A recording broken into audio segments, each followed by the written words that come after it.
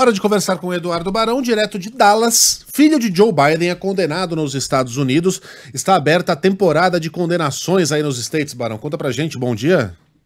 É um ano histórico, né, Megali? Tudo pela primeira vez na história americana. Tivemos há pouco tempo, bom dia para você, a Carla, a Sheila, todo mundo no Brasil, a primeira vez que um ex-presidente foi condenado na história dos Estados Unidos. E ontem, pela primeira vez, o filho de um presidente que está no cargo foi condenado por aqui. Hunter Biden assinou um documento em 2018 é, dizendo que estava limpo, não estava sob nenhuma influência de nenhuma substância ilícita quando comprou uma arma é, em Delaware, estado natal dele, da família é, toda do Biden. Né? Só que, na época, o Hunter Biden, o único filho vivo é, do Joe Biden, lutava contra o vício em bebida, é, em cocaína, em crack. Ele admitiu isso, inclusive, num livro é, que ele escreveu. Então, segundo a promotoria, o Hunter Biden marcou ali o formulário na hora de preencher para conseguir essa, essa arma né, de forma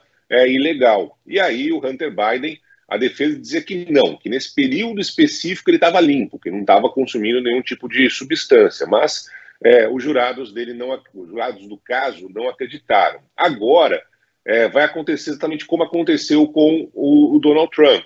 A juíza do caso, em até quatro meses, vai anunciar é, o veredito, que pode chegar até 25 anos de prisão, uma multa superior a 4 milhões de reais. Mas aquela história do, do, Trump também, nesse caso, vale. Né? Ele é réu primário, nunca sofreu nenhuma condenação, e aí talvez a pena não seja essa, só o tempo vai dizer.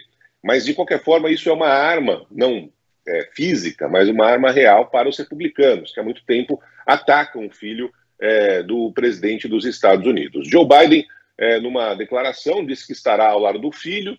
É, no final de semana chegou a dar uma entrevista dizendo que ele não vai dar o perdão presidencial, ele poderia dar o perdão porque se trata é, de um crime federal, mas Joe Biden disse que se o filho dele for condenado à prisão, ele não vai mudar é, em nada esse cenário, e é evidente que se isso acontecer, seria muito criticado por aqui, a dúvida agora é saber se a condenação de Hunter Biden vai influenciar nas eleições aqui dos Estados Unidos.